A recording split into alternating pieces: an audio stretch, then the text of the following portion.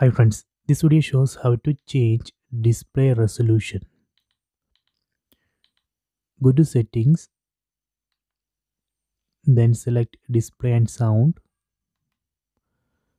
then select advanced display settings,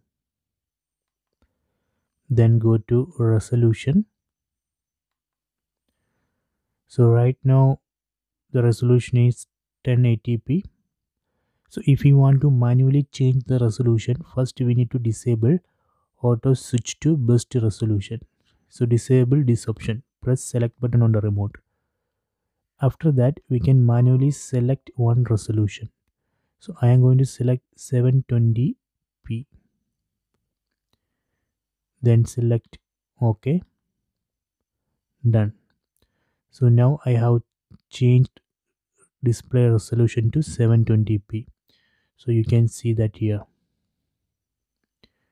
So if we don't know what is the best resolution in that case we can enable this option auto switch to best resolution. Then it will automatically select best resolution and change the resolution automatically. So let me enable this option.